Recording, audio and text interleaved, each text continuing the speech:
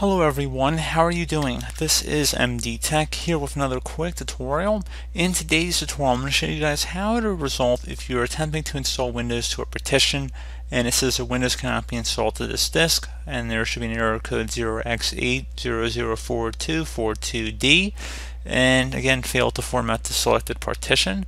So this could definitely be a frustrating issue and in today's tutorial I'm going to show you guys how to hopefully resolve it.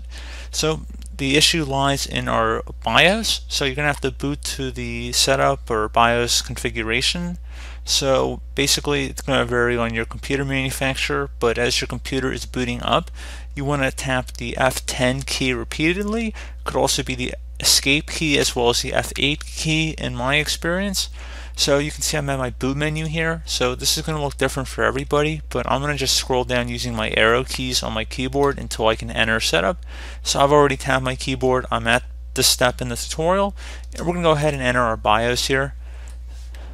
So now that we are here, we want to go ahead and locate underneath the BIOS configuration settings. So again, this will look different for everybody but we're going to go use our arrow keys once again to navigate over to the boot tab. So using your right arrow key, we're going to navigate over to the boot tab. So I don't have this for on my system for a variety of reasons, mainly that it's just not supported on this system. But if you did have something that says UEFI boot support, you want to go highlight over it and then toggle it to the disabled position. So if it's currently enabled, you want to disable it. So just for example, I'm going to head over to the advanced tab just to show you guys how you would change something from disabled to enabled or something like that. So you can see just for example the installed OS says other here and you can see at the bottom there's a key that says change values plus or minus. So if you click on the little plus sign it'll let you go back and forth between options. So again in the boot tab, you want to do that for the UEFI boot support. You want to switch that to disabled. Most people should have the plus or minus key to change the options. And again, just reference your key at the bottom of the BIOS that you can see here on my screen.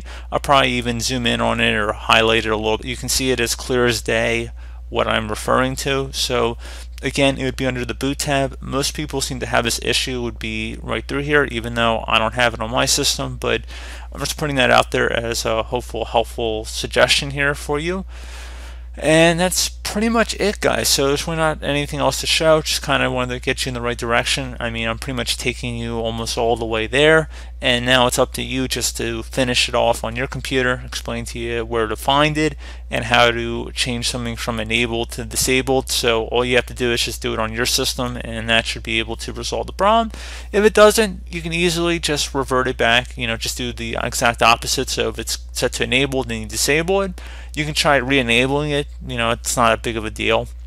So pretty straightforward process. Once you're done, tap the F10 key to save. Again, that set it on the key that F10 is to save changes. You could also revert back to default too if you needed to go back if you made any mistakes you're welcome to do that but we just tapped F10 to save it so save configuration changes and exit now you'd hit enter at this point restart your system and then hopefully once you are able to get back into the setup wizard for the Windows installation, you should be able to continue on with the process.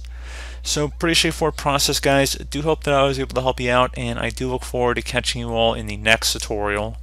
Goodbye.